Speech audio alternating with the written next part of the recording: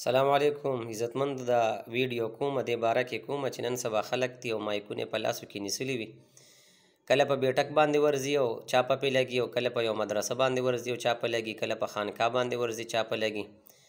او دا دمګری دی نو پاغي باندې ورځي او بیا تنه قسم قسم سوالونه کی کله ول د مړو کمیسونه وړي چې را دا ته دم کو په د باندې جادو دی او کسې دی په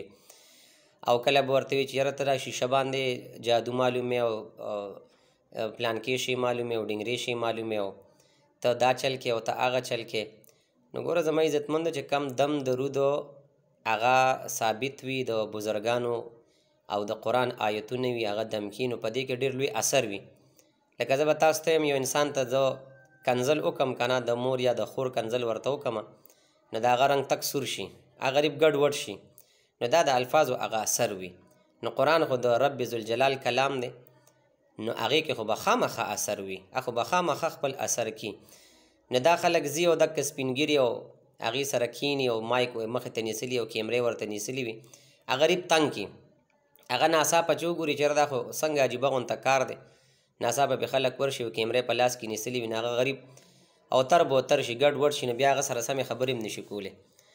نو یو خو دا بالکل دا خو ناجایز دی شرعاً چې ته یو سړي باندې بغیر اجازه ته ته د هغې کمرې ته ورځې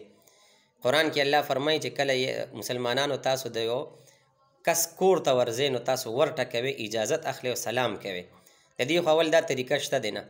بس مایک به نیسلی په لاس کی بل ورځ خو له یو قاری صاحب مخ زمکه له مایک رو وشتو زه خو به ډیر خوشاله شوم چی دی خلکو سره هم دک چل په کار د مایک غلط استعمال کی نه ور سره سی تارټی وی نه چته د یو چینل سره هغه دغه ور سره وی لیسنس ور سره وی بس اسه مایک یې پلاس کې راغشتي وي او ناس بیا لکه ته صحافي تا د صحافت تعلیم کړی دی تا سره د صحافت سرټیفیکیټ شته تا سره چې کوم د صحافت ډیګري شته ته په کم حساب سره ته چې کوم د صحافت کې دي ته صحافت نه وي دا بس اس یو شوق دی د دغه چې کم دنو د مای ګرځول او د ځان د مشهور کول یو شوق دی چې بس لګیا دی ځان مشهور کې چې پلان کې په پلان کې پیر باندې چاپه والي و او هغه دا چلو کو الکه خدای رسول ته وګوره چې د یو کس د قرآني آیتونو باندې او د بزرګانو په دمونو باندې گزاره کیږي نو ستا ولې د سره کار دی زه به تا ته دا وایم چې ته زړور شه ته نر شه په اسپتالونو باندې ورشه هلته کې د ډاکټرانو په ځای باندې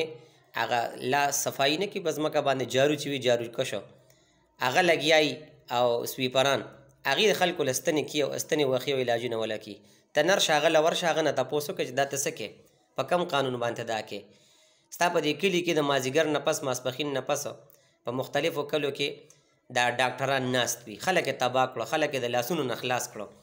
مټې وله دا دا غټې غټې مټې وله پړسولي وي ستن وله غلطه وخي په چا یې کوناټي را پړسولي دي زخمونه یې ښه کېږي نه په میاشتو میاشتو ګرځي خلک یې معذوره کړو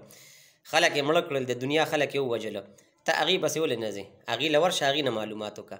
پرېږده چې یو کس هغه ګزاره کیږي او د قرآن باندې ګزاره کیږي هو چې یو دم داسې وي چې هغې کې داسې الفاظ وي چې هغه د عربې نه وي هغه منقول نه وي نو بالکل زه دا خپله د هغې خلاف یم دغه دم چې کم دی نو ناجایز دی خو چې کم دم درود هغه د قرآن موافق وي او د حدیث او د بزرګان دین د دم درود موافق بالکل دا غي په اسلام کې اجازه شته او ته چې دا کارونه کې او یره وې چې د خلکو خدمت کوم او زه چې کم دینو د خلک خلکو ته بګوتا کوم نو زه به تا ته وایم ته لړ شه په دې زمونږ په دې پېښور کې زمونږ په دې مردان کې د زناکارې اړې دي هغې باندې ورشه چاپه پې ولګوه چې تا ته هر څه معلوم شي او دغه شان چې کم دی نو دا دوايانې چې جوړي اوس ته راشه دا پینډال ګولۍ چې ده پینډال دا په بلیک باندې جوړیږي دا ستا په دې مردان کې چې کمونه جوړیږي نو تراشه پاغي چاپه وخه چې لکه دا تاسو له دا نقصان تور کې خلکو له خلک د ګردون اخلاص کړ خلک چې کمونه د سترګو اخلاص کړل زړونه ولا کمزور کړ مېدو ار سړی مریض دی دا ټول د دو نمبر دوايي نه پبلک باندې خرسي د انډیا د دنیا دوايان دا په سٹورونو کې پرتی دي تراشه ته په دی باندې چاپه وخه ته چې کمونه په خلکو باندې چاپه مو وخه چې هغه کار خیر کې لګیا دي د خلکو په کار کیږي د خلکو په گزارې کیږي هغه خلک چې هغه ډاکټرانو ریجیکټ کړي دي ډاکټرانو ورته ویلي چې موږ د دې علاج نشو کولی او دې بس دته دعاګانې کوي نو هغه راشي او داغه کار وشي قران باندې د قران آیتونه پیولولي دم درود ورلو کې ناغه خشن تول د خلکو بس لګیدلی او نور چې کم حساب کتاب دی د دې چې یاره په شیشه کې کتل کیو نو شیشه کې هغه ګوري نه دی خپل ریاضیات دي د هغې خپل چې کم دی نو چې لیو باسل دي د هغې خپل چې کم دی نو زکاتونه دي هغه به دې خلکو کړي وي لکه ډاکټر ته ډیګري میلو شي که نه سرټیفیکیټ نو دا هغه ډاکټري کړي د سره ډیګري پرته ایم بي بي اس ډاکټر څه دا نه چې بس ستا په شان مایک راواخلي او بس ګرځي او سټیتسکوپ ستا سره خو مایک دی او هغه سره سټیتسکوپ په زغوږ کې واچي او کلینیک کولو کې ځان سره چې کمدنې ولیکي چې زه ایم بي بي اس ډاکټر یم داسې نه جوړېږي ښه وروره د دې دپاره هغه لکونه روپۍ لګي هغه چې کمدنو ځي او کله چین ته ځي او کله چې کمدنو روس ته ځي او کله انګلینډ ته ځي هغه هلته نه ډیګرۍ حاصلي او بیا راځي او دلته کې چې کمدنو ځان سره ایم بي بي اس لیکي نو دغه خلک چې کمدنو دا چې کم دم درود کی نو دی خپل زکاتونه کړي دي او ته چې کمدنو خیر معلوماتو که چېره دا زکاتونه څنګه خلک کینی په ځان باندې شپې لوړي او هغه چې کمنو وظایف کې داغې نه پس بیا هغه دغه مقام ته ورسیږي په خپل محنت باندې په خپل کوشش باندې چې داغه په جبه کې داغه په کلام په ویلو کې الله تعالی اثر خو دی لکه یو عام خبره ده تا ته یو سړی کنزلو کې ستاره رنگ بدلیږي نه بدلیږي رنگ د سرکیږي نه سرکیږي بد در باندې لګي غوګونه در پړسیږي کنه سترګې د سرکیږي کنه دا کنزلو د وجنه کنزل خو الفاظ دي نو قران کې با اثر نه قران چې د رب ذوالجلال کلام دی نو په دې کې به اثر نه وي اوس یو سړی بالکل د قران نه او د حدیث نه او د عربی د الفاظو نه علاوه منترې او جنترې وي د هغې زم خلاف یم خو داسې نه دي کول په کار نو دا خلک خو نه سمېږي دی خو پوهېږي نه دی خو به خامخا خپل شهرت او ځان مشهور ځان د شهرت دپاره به دا قسم حربې استعمالي نو زه دې ته دا وایم چې دک کار خیر ته ګڼې نو د دې نه غټ کار خیر دا دی چې په هسپتالونو چاپې ووخه پوهېږې په ډسپنسرو باندې چاپ یې ووخه دغه چکلو باندې چاپ یې ووخه په دې چې کمدنو دا خلک ملاوټي کې ستا په دې بازار کې پې خرڅېږي ولې دا دومره ډېر ساروي دي چې دا دومره پې خرڅېږي هر دکان چې کمدنو په منونو پې وباسي ته د دې لږ معلومات وکړه دې پسې لږ وګرځه د دې نه لږ تپوس وکړه ته ولې دغه